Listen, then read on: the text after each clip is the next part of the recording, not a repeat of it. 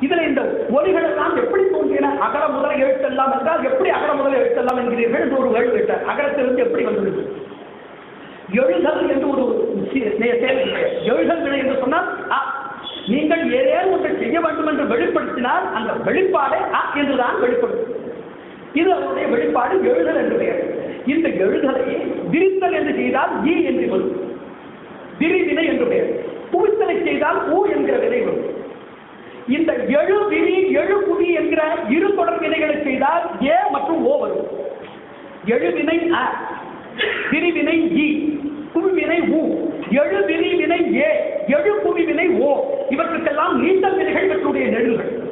இப்படித்தான் இந்த உயிர்களுடைய தோற்றம் இருந்திருக்கிறது மெய்களுடைய தோற்றம் எப்படி வந்தது என்று பெரியவர்கள் கேட்டார்கள். சில செயல்பாடுகள் இருக்கின்றது. தொடுவினை விடுவினை தொடர் வினை அழுத்த வினை அகவு வினை அளவை வினை என்ற இந்த வினைகளை எல்லாம் அன்னம் மற்றும் பல் உதடு முதலான கருவிகளோடு சேர்த்து பின்னி பிழைந்து செயலாற்றும் பொழுதுதான் இவை பிறக்கின்றன. ஆனால் இவை முழுமை பெறுவதில்லை. முழுமை பெறுவதில்லை. இவைதான் மெய் இந்த மெய்யா இருக்கின்ற ஒலிகள் எல்லாம் முழுமை பெறுவதில்லை. இவை அழுத்தத்தினாலே உண்டாக்கப்பட்டு எப்படி? குறைபயனாய் இருக்கின்ற ஒரு செல்வத்தை போலே குறைபொருளாய் இருக்கின்ற ஒரு கருப்பொருள் போலே இவை முழுமை பெறுவதில்லை இவை முழுமை பெற வேண்டும் என்று சொன்னால் உயிரோடு சேர்ந்து இணைய வேண்டும். இவைகள் தான் மெய்யினுடைய பிறப்பு. ஒருவர் ஒரு கேள்வி கேட்டார். அந்த கேள்வி அத்தனை எளிதான கேள்வி அல்ல. அதற்கு ஆழ்வொரு உண்டு ஐயா நீங்கள் ஓசைக்கெல்லாம் துவக்கம் ஆயிருக்கிறீர்கள் அவற்றுக்கெல்லாம் நிலைவர செய்கின்ற அந்த முடுக்க நிலையானது ஊர் என்கிற புவிநிலை என்கிறீர்கள். ஒடுக்க நிலையை ஏன் இப்பென்று வேண்டும் இப்பென்று சொல்லலாகாதா என்று கேட்டார். ஏனென்றால் இசைக்கலையிலே நிரோஷ்டா என்று இருக்கின்ற ஒரு பன்வகை உண்டு. நிரோஷ்டா என்றால் அந்த பண்ணை இசைக்கும் பொழுது உதடுகள் ஒட்டாது. உதடுகளை ஒட்டச் செய்கின்ற பன்வகைகள் மா பா இந்த இரண்டு ஸ்வரங்களும். சரிக தலித தனித கரித என்று இருக்கின்ற அந்த பன்முகையை சேர்ந்தது ஆகினாலே அவற்றில் இந்த பா மா இல்லாததுனாலே இந்த உடல்கள் ஒட்டாது. பாவுக்கும் மூடச் செய்கின்ற செய்கை உண்டு. ஏன் பா என்று சொல்லக்கூடாது? மா என்று சொல்ல வேண்டுமா? இரண்டிலும் வாய் மூடுகிறது என்று கேட்டார். இதற்கு பெரியவர்கள் மிக உண்மையான பொருளை சொல்லியிருக்கிறார்கள். அதை நாம் சிந்தித்து பார்க்க வேண்டும். ஒலி எனப்படுவது முடிவு என்று ஒலியில சொல்லுவது துவக்கத்திற்கு முதல் நிலை. முடிவு என்று சொன்னால் அது அறவே ஒழிந்த முடிவல்ல. மறுபடியும் மீண்டும் அது துவங்குவதற்குண்டான முதல் நிலைத்தான் நாம் முடிவு என்று சொல்கிறோம். முடிந்த பொருள் பிறக்கும் பிறந்த பொருள் மலரும் மலர்ந்த பொருள் தேயும் தேய்ந்தது ஒடுங்கும் ஒடுங்கும் பொருள் மீண்டும் பிறக்கும் என்பது இப்ப எனப்படுவது தொடர் ஒலி இப்ப எனப்படுவது இடர் ஒலி இப்ப என்று சொல்லிவிட்டால் பிறகு அதை நீட்டலாகாது நீங்கள் சொல்லி பாருங்கள் ஓ! என்று அங்கு தாய் என்கிற ஒலியை பட்டாரத்தை போட்டால் அது இடர் ஒலியா இருக்குமே தவிர தொடர் ஒலியா இருக்காது. ஓ இது தொடர் ஒலி. ஆக பாமா இரண்டுக்குமே இருக செய்கின்ற இயக்கத்தை ஒடுங்க செய்கின்ற தன்மை இருந்தாலும் மா என்பது தொடர் ஒளியாக இருக்கிறது.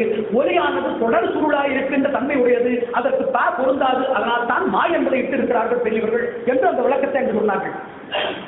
பெரியவர்கள் ஆக இந்த முதல் என்று சொல்வதற்கு ஒரு பொருள் முதன்மையாய் இருக்கிறது என்று சொன்னால் அந்த பொருள் அனைத்துமாய் இருக்கிறது என்பதுதான் அதற்குரிய ஆழ்பொருள் ஒருவர் இடத்துல கேட்டார் இறைவன் ஒளியாகவும் மொழியாகவும் இருக்கிறான் என்கிறீர்கள். இந்த மொழியே தெரியாதவர்களுக்கு இறைவன் என்ன செய்வார்? இல்ல ஒளியே இல்லாத அதாவது கேள்திறனும் பேசுகின்ற உரைத்திறனும் இல்லாதிருப்பவர்களுக்கு எப்படி செய்வார் என்றால் அதற்கு பெரியவர்கள் உட்பொருளாக கற்புலனாக உள்ளிருந்து இயக்கியாக உணர்வு பிழம்பாக இறைவன் இருப்பார். அது ஒன்று. இரண்டாவது அவர்கள் பெரும்பேறு பெற்றவர்களாக இருந்தால் இறைமனம் பகழ்கின்ற இந்த மொழியோடும் ஒளியோடும் பேசி பழகுகின்ற நல்ல ஒரு மீண்டு பிறவியை வழங்கி அவர்களுக்கு அருள் புரிவார் என்று இந்த இடத்தை வைத்திருக்கிறார். ஆக இதுதான் அகர முதல என்பது. எழுத்தெல்லாம் என்று ஏன் சொல்ல வேண்டும்? ஒலியெல்லாம் என்று சொல்லக்கூடாதா? அகர முதல ஒளியெல்லாம் என்பதுதான் அது சரியான பொருள். அகரம் என்று சொல்வது ஒலி எழுத்தல். அகர முதல ஒலியெல்லாம் என்று தான் இருக்க வேண்டும். ஒலியெல்லாம் என்று சொன்னால் அங்கு அதனால தலையும் தட்டாது. ஒலியாயினும் எழுத்தாயினும் அது நிறையட்டாய் இருப்பதனால இரண்டும் அங்கு பொருந்தும். இவர் ஏன் அப்படி சொல்ல வேண்டும்? இதற்கு பெரியவர்கள் மிக ஆழ்ந்த ஒரு பொருளை சொல்லியிருக்கிறார்கள். அதை மாத்திரம் சொல்லி நிறைவு செய்வோம். ஒன்று எழுத்து என சொல்லப்படுவதற்கு சொல் முதல் வினை என்று பெயர். சொல் முதல் வினை என்றால் எழுத்துதல் சொல் முதல் வினை வினை முதல் சொல் என்று இரண்டு உண்டு. ஒரு செயலை செய்வதற்கு முன்பே அந்த வினை இருந்திருக்கிறது. ஒரு வினை இருப்பதற்கு முன்பே அதனுடைய சொல்லும் ஒரு வழக்கத்திலே சிலருக்கு இருந்திருக்கிறது. அதனால் தானே வழக்கத்திலே இருந்திருக்கிற சொல்லை கனிப்பொறி என்கிறார்கள். பொறி என்பதும் கனி என்பதும் ஏற்கனவே இருந்தது இணைத்திருக்கிறார்கள் அதுபோல இங்கு வினை முதல் சொல் என்று சொல்ல வேண்டும். எழுத்து என்கிற வடிவம் வருவதற்கு முன்பே எழுதுதல் எழுத்துப்படுதல் என்றால் உறுதிப்படுதல் என்கின்ற பொருளிலே அது வழங்கி வந்திருக்கிறது. ஆக எழுத்து எனப்படுவதற்கு உறுதிப்பாடு என்றுதான் பொருளை தவிர எழுதுகின்ற எழுத்து என்று வைத்துக் கொள்ள தேவையில்லை என்பது முதல் பொருள் இரண்டாவது உள்ளப்பதிவு. எழுத்தனப்படுவது என்ன? உள்ளப்பதிவு. அகர முதல் எழுத்தெல்லாம் என்றால் ஆ என்கிற ஒலியை சொல்கிறோமே அந்த ஒலியினுடைய எண்ணிலடங்காத உள்ளத்தில் இருக்கின்ற முதற் பதிவுகள் எல்லாம் என்று உள்ளப்பதிவை சொல்லலாம். என்னால் எம்பெருமான் உண்டனக்கடியோம் என்று எழுத்துப்பட்ட அந்நாளே என்று ஆழ்வார் சொல்வதை பார்க்கிறோம் அது எழுத்துப்படுதல் என்றால் உறுதிப்படுதல் என்று முதற் பொருள். இரண்டாவதாக எழுத்துப்படுதல் என்றால் உள்ளப்பதிவு என்பது இரண்டாவது பொருள். மூன்றாவது தொடர் அல்லது இணை வினை சுற்று என்றார்கள். எழுத்து என்று இவர்கள் சொல்வதனாலே இந்த எழுத்துக்கெல்லாம் முதலாக இருக்கின்ற ஒலியை சொன்னதாக அந்த பொருள் விட வேண்டும். ஆகு வேறு முதல் வினை ஆகு வேறு என்று பொருள். ஒரு வினையை சொல்லும் பொழுது அந்த வினையோடு இல்லாமல் ஒருவருக்கு சொல்லும் பொழுது ஏதேனும் ஒன்றை சாதம் கொண்டு வா என்று சொல்லும் பொழுது அதை சார்ந்திருக்கின்ற பொருள்களை எல்லாம் கலந்துதானே என்று குறிப்பிடப்படுகிறது.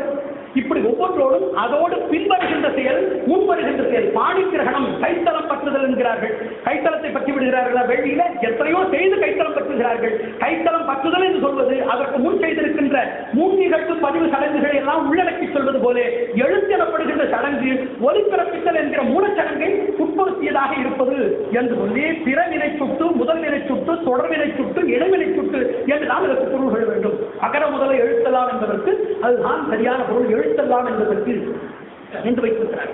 இரண்டாவது பொருளை பார்ப்போம். என்ன வள்ளுவர் சொல்ல விரும்புகிறார்? ஆ என்கிற ஒலியினுடைய நினைவு. நீ மூன்று நிகழ்ச்சிகளை சொல்லியிருக்கிறார்கள். ஒன்று விதை இரண்டாவது வினை மூன்றாவது விளைவு விதை எனப்படுவது எண்ணுவது வினை எனப்படுவது செய்வது. விளைவு என்பது அதனாலே வருவது. இப்படி ஆ என்கிற ஒளியானது விதையானது எப்படி வினையாகி விளைவாகிறதோ அதுபோல் எம்பெருமானால் இந்த உலகமும் மூன்று நிலையை அடைகிறது. நிலை அடைகிறது என்னென்ன நிலை அடைகிறது முதலிலே காணப்படுகின்ற பொருள் நுண்பொருள். இரண்டாவதாக வடிவமைத்து வந்த பொருள் மென்பொருள். இப்பொழுது நாம் பார்த்துக் கொண்டிருக்கிற பொருள் நுகர் பொருள் ஆக ஒலியானது எப்படி விதையாகி வினையாகி விளைவாகி ஒலியாகி வெளிப்பாடாகி எழுத்தாகி இருக்கிறதோ அதுபோல் ஆதி பகவனாலே எப்படி எவ்வளவு நேரம் இருந்தாலும் அது நிக்காம வர மாட்டாங்க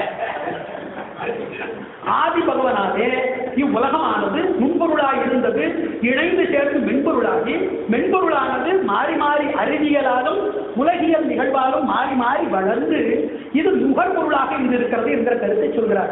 ஒளியானது எழுத்தானது போலே கண்ணுக்கடங்காது தபஸ் என்று வடமொழியிலே சொல்லப்படுகின்ற வேதங்களில் சொல்லப்படுகின்ற நுண்பொருளானது பிரகிருதி எனப்படுகின்ற மென்பொருளாகி தன்னகத்திலே காணப்படுகின்ற விரி உலகமாக பிரபஞ்சம் என்கிற பெயரிலே இப்பொழுது வாழ்ந்து கொண்டிருக்கிறது. இந்த தன்மையை தான் வள்ளுவர் என்று சொல்கிறார்.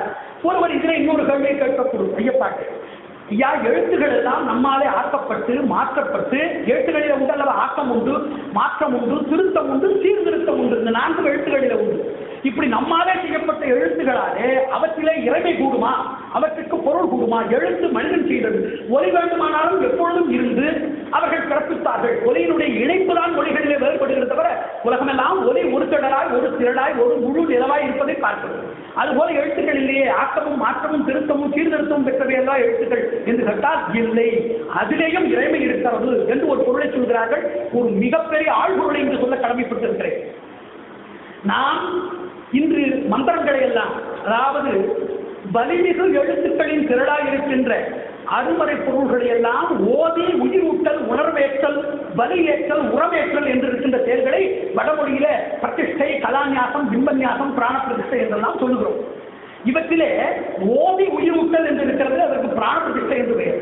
எழுதி உயிரூட்டல் என்று இருக்கிறது அதற்கு புறச்சரணம் என்று பெயர். அது பலருக்கு தெரிந்திருக்க வாய்ப்பில்லை. எழுதி உயிரூட்டல். எழுதினால் எப்படி ஆக்கம் தானே என்று கேட்டால் பெரியவர்கள் சொல்கிறார்கள் உன்னுடைய எண்ணமும் அதனுடைய வடிவமும் உன்னுடைய உணர்வு திறனும் உன்னுடைய உயிரின் ஒருங்கிணைப்பும் உந்து திசையாய் உனக்கு இருக்கின்ற இறை தொடர்பும் ஆட்டான் தொடர்பும் அருட்தொடர்பும் நீசை முன்வினையும் அனைத்தையும் சேர்ந்து உயிருக்கு உயிரூட்டுகின்ற வரிவு வரிவுக்கு வடிவமைத்து அந்த வடிவுக்கு உயிரூட்டி உயிரை உணர்வாக்கி உணராலே பலன் பெறுகின்ற உயிர் பொருளை உங்களுக்கு புறச்சரணம் இந்த ஐந்து பொருள்களாலே தருகிறது.